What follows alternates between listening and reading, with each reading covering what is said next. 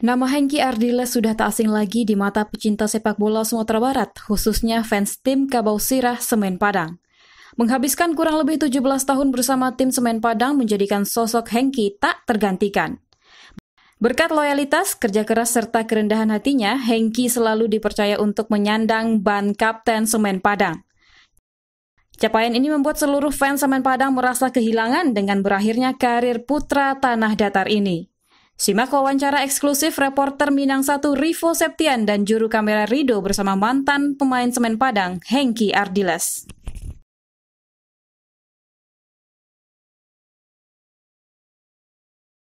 Pertama, mungkin uh, saya berasal dari Sumpur ya, uh, Tanah Datar. Uh, keluarga di sana, uh, sekolah uh, dari SD, SMP, dan sampai SMA di sana. Uh, sehabis uh, tamat uh, eh, SMA baru ke Padang ikut uh, seleksi di Pratama Semen Padang atau Semen Padang Junior. Tahun? Uh, 99. Untuk untuk persiapan uh, Suratin tahun 2000. Hmm. Jadi 99 itu uh, diadakan seleksi. Kebetulan uh, Pratama Junior, Pratama Semen Padang ada turnamen ikut turnamen di Batu Sangkar. Hmm sekalian mencari bibit alhamdulillah uh, saya dibawa ke Padang untuk ikut uh, seleksi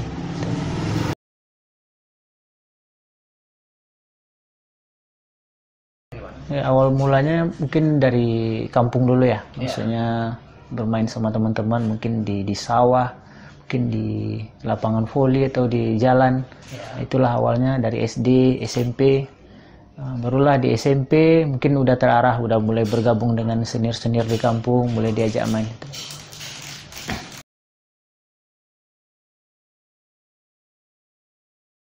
uh, karir mungkin dari pertamanya mungkin ikut di PSBS Batu Sangkar ya sebelum ke Padang ikut latihan di sana.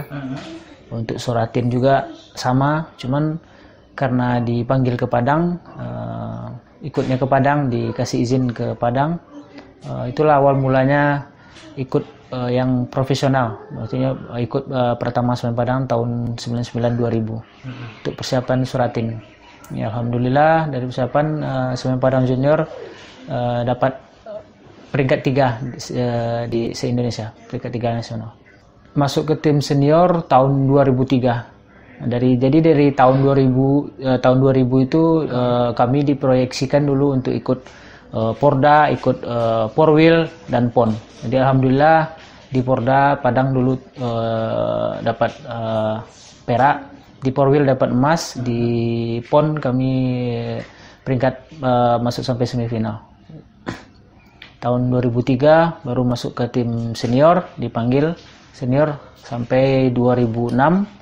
Nah, 2007 keluar Eh, ke Bogor satu tahun Persikabo, ya, nah, habis itu tahun uh, tahun 2008 hmm. kembali lagi ke Semen Padang sampai 2018.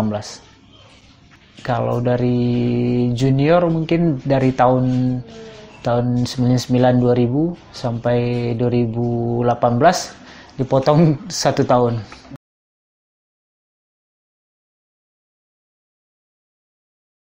Pertandingan pertama profesional kalau nggak salah dulu waktu itu main di Semen Padang main lawan Persik Kediri di Kediri. Di Kediri. Ah, ya. Main Pemain pengganti. Pemain ah, pengganti. Posisi yang sama. Posisi dulu stopper. Stopper ah, ya? Iya, dulu stopper. Sama Pak Haji Suatman Imam dari tahun 2003.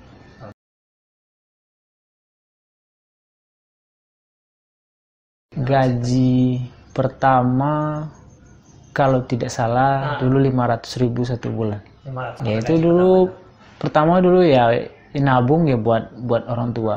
Buat, ya. Masih.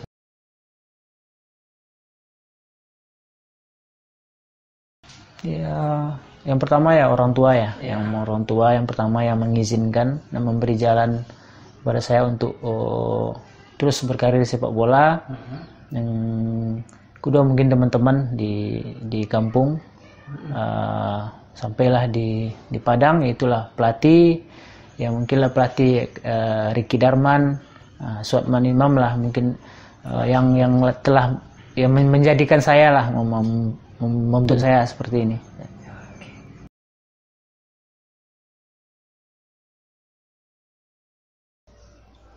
pemain lo lokal yang nah, yang dola dulu Gus Gus Nedi Adang, Abang Gus Nedi Adang, Daeng. Daeng ya. Ah.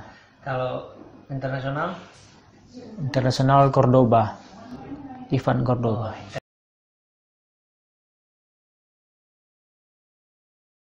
Iya di Semen Padang mungkin dari junior udah ya, maksudnya udah bisa bersama teman-teman bersama tim membawa uh, Semen Padang junior peringkat tiga nasional. Habis itu di senior mungkin di di IPL dulu ya, di IPL juara.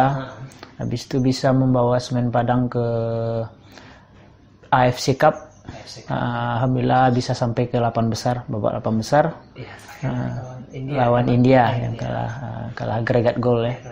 Uh, Habis itu mungkin bisa juga mem- membawa Semen Padang lagi balik lagi ke Liga 1 uh, radar up kalah final sama Sleman tahun 2018. Iya, sekarang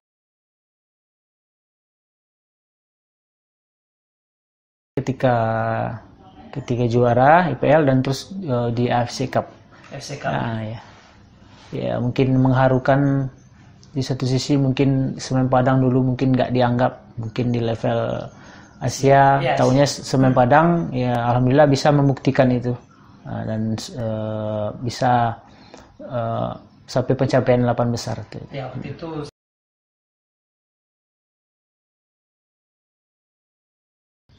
yaitu kekeluargaan. Mungkin mungkin eh, bukan lagi tempat apa ya tempat berkarir ya tapi udah udah sudah tempat eh, keluarga lah di sana. Semuanya udah lengkap rasanya di sana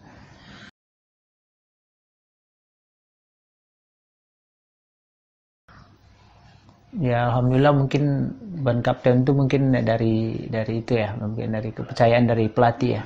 Nah, cuman mungkin sebagai saya pribadi mungkin belum belum apa ya belum belum pantas kayaknya kayak yang yang dielulukan mungkin masih banyak kekurangan lah dari saya sebagai kapten mungkin banyak kekurangan di dalam di dalam tim atau dalam yang lainnya.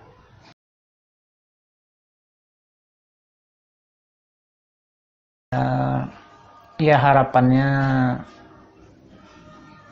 mudah-mudahan insya Allah bisa lagi kembali ke Liga 1 Nah, mungkin bisa melewati di Liga 2 ini dengan ya dengan semangat juang yang tinggi dan dengan loyalitas yang tinggi lah kepada tim Semen Padang Gitu.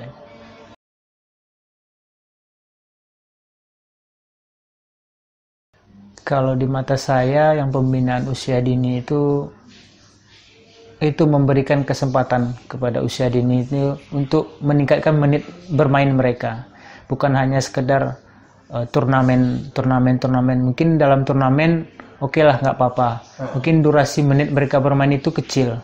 Tapi kalau bagi saya mungkin yang menit bermain mereka itu yang perlu diperhatikan. Nah, sekarang kan tur- turnamen mereka tiga kali main dua kali main kalah habis pulang kalau bisa eh, pembina usia dini ini menit bermain mereka yang perlu diperhatikan. Mungkin kompetisinya mereka lama menit bermainnya. Ada mereka di situ bisa mengasah atau menambah eh, eh, keterampilan, mereka.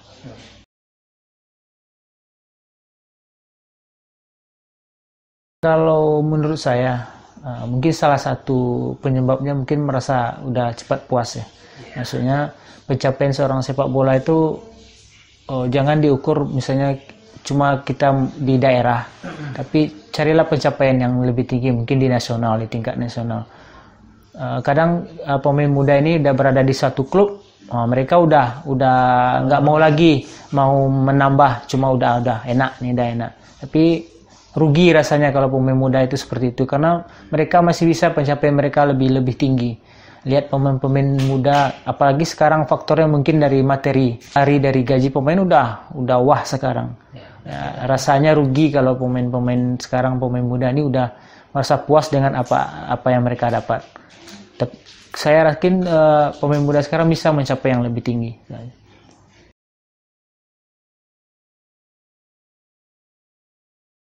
Ya, sarannya pemain muda ya jangan cepat puas, eh, teruslah berlatih, eh, jangan pernah kalah dengan dengan atau takut dengan namanya seleksi, karena di seleksi itu uh, orang yang hebat belum tentu juga terpilih. Itu karena ada juga faktor pelatih dan orang yang tidak hebat tidak mesti dia rendah. Karena uh, apa ya yang menentukan pemain itu mungkin di, di, di samping uh, uh, latihan mungkin ada faktor mungkin dari selera pelatih hmm. mungkin di pelatih ini mereka tidak terpilih bukan berarti mereka tidak bagus mungkin ada pelatih lain yang yang suka dengan uh, tipe. Jadi tetaplah terus berusaha, nggak nggak ada yang tidak mungkin itu aja.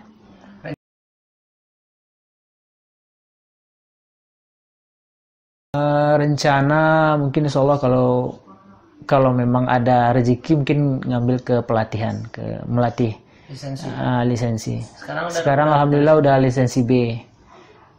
B, uh, B AFC jadi mudah-mudahan kalau kalau memang ada rezeki di melatih lanjut terus. Eh, sekarang uh, dijalani aja prosesnya nggak tahu rezeki yang mana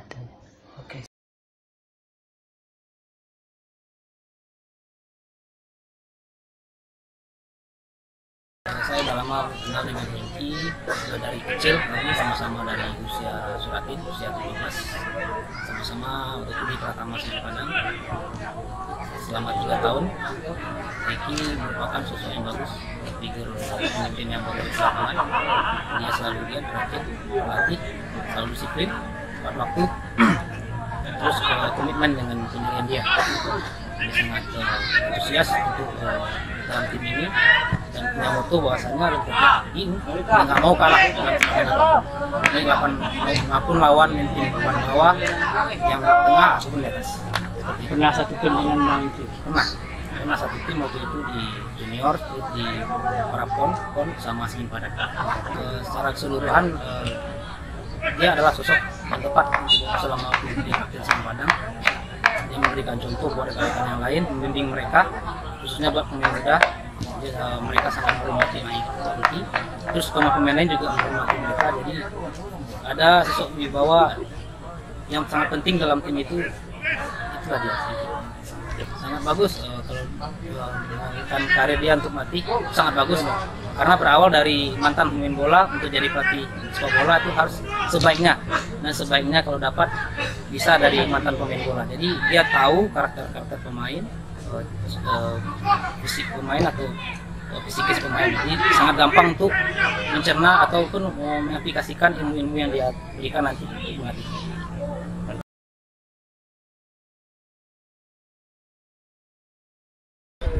Hengki ko kalau wak lihat mungkin wak tahu cuma Hengki ko inyo kalau sebagai pemain kepemimpinannya rancak gitu kan. Sama kawan-kawan kalau wak saya lihat sebagai orang awam ya uh, Hengki ko orangnya lebih sahabat gitu. Orangnya lebih rendah hati gitu